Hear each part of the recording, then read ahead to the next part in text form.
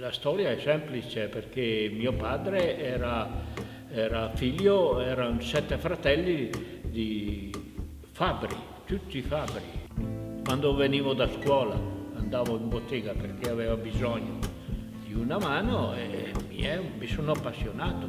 Diciamo che noi altri abbiamo i cromosomi con dentro il ferro. Può darsi, perché, ecco. perché le generazioni passate nostre hanno, contano parecchi fabbri nel loro. Esatto, esatto. Il mio modo di lavorare è primitivo, come un- nel Medioevo. Ecco, vedo un albero e mi metto subito senza far disegni, a volte con un gesto faccio uno schizzo per terra così solo per richiamo, però ce l'ho in testa. Mi diverto anche sudando forte perché quando cade la goccia dal naso è allora che si lavora meglio. Vivere qui eh, effettivamente può sembrare un po', eh, un po' riduttivo per qualcuno che vuole fare arte perché vivi eh, in una realtà piccolissima, eh, in mezzo ai boschi e ai prati. Da quel punto di vista Paolo, Paolo Valor ci ha insegnato sempre a tenere i piedi conficcati nella terra d'origine. Eh, Sembra una stupidata, però forse è, fondamentale, per noi altri è stato fondamentale. Per te tenere i piedi nell'orto, per me andare nel bosco a vedere gli animali. la terra, no? vivere, vivere, nascere nella terra, poi la passione sempre dell'orto, vedevo sempre qualche pianta particolare e poi dicevo madonna se potessi fare l'inferno che bel che sarò.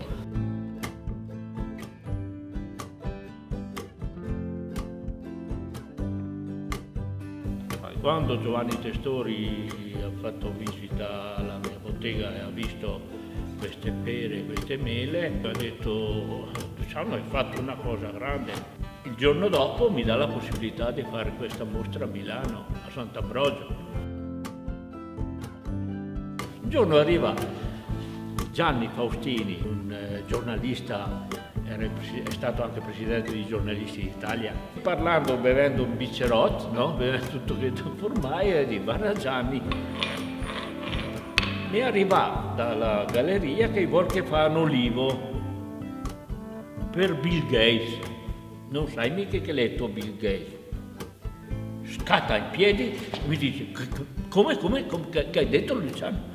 Sì, guarda, prendi qui. Ha aperto la busta, rimasta, "Stia, ma non è possibile, non è possibile.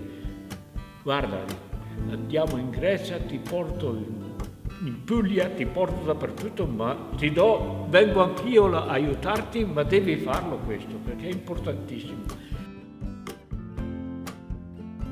L'olivo mi piace perché c'è molta vita dentro, no? c'è questa sofferenza, questa fatica, e queste mm, contorsioni. Lavorando come una volta, utilizzando addirittura i pezzi, eh, gli attrezzi di una volta, il nostro lavoro è lentissimo, esattamente come eh, secoli fa. Quindi per realizzare un grande albero possiamo metterci anche due anni di tempo. Eh, è una necessità. Sì, la Jean che era venuto a far visita in bottega, questo critico, direttore del Museo Picasso, direttore di... questo critico, ha capito subito che c'era un collegamento col, col, col passato. col passato a oggi, perché io mi sono, ho, ho ricostruito un po' questo percorso, no? E mi, faccio lo stesso lavoro che facevano un tempo. E Jean Clair l'ha capito al volo, guardava quelle zappe. Ma queste zappe lo facevano in quel modo? Sì.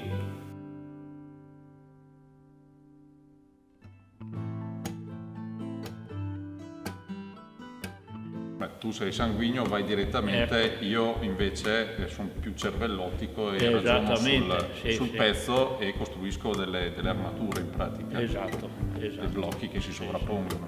Beh, quando ero bambino mi ricordo che eh, appena potevo scendevo in officina e stavo con mio padre, o meglio, stavo in officina a giocare. Mi ricordo delle gran scuotature perché finivo sempre col raccogliere i pezzi roventi invece che quelli freddi.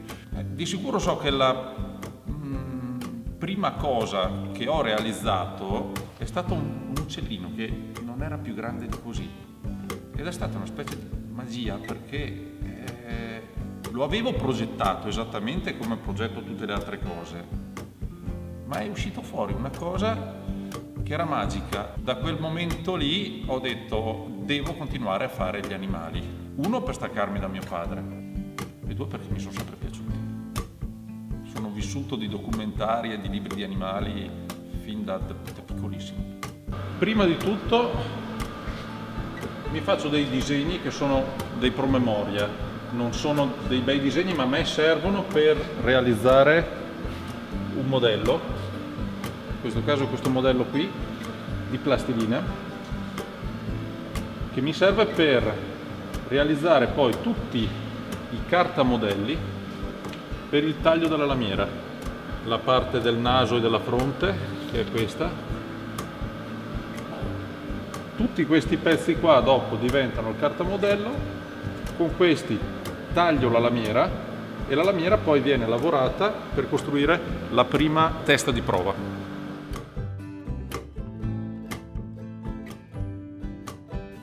Quest'anno per la Galleria Salomon dovrò realizzare una mostra eh, sulle fiabe di La Fontaine. Me l'ha proposto Lorenza Salomon, ma appena me l'ha proposto io sono, mi, ci sono subito innamorato. Tirare fuori queste vecchie fiabe che mi permetteranno di realizzare una cosa alla quale già stavo pensando un sacco di tempo. Io pensavo di realizzare degli animali con degli altri animali, quasi creare dei totem. Io potrò fare il leone con, col topolino, l'elefante col topolino, che sono due fiabe di La Fontaine, oppure la tartaruga con le anatre.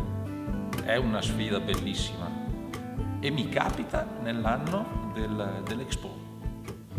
La nostra fortuna forse è che noi riusciamo anche a realizzare eh, delle richieste particolari di le cose anche strane, con misure particolari, che stanno in spazi difficili. Avere sempre adattato il nostro lavoro anche con certe esigenze certo. de, de, de, del committente.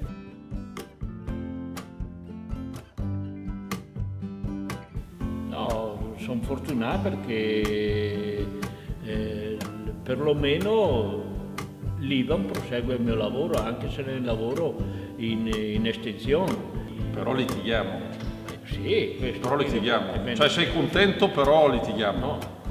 Oggigiorno eh, la storia dell'università di questo e di quello, sempre là. L'ha presa, presa larga un'altra volta.